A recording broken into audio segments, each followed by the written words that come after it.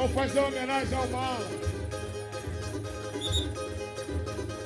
Alô, Mala! Essa é pra você!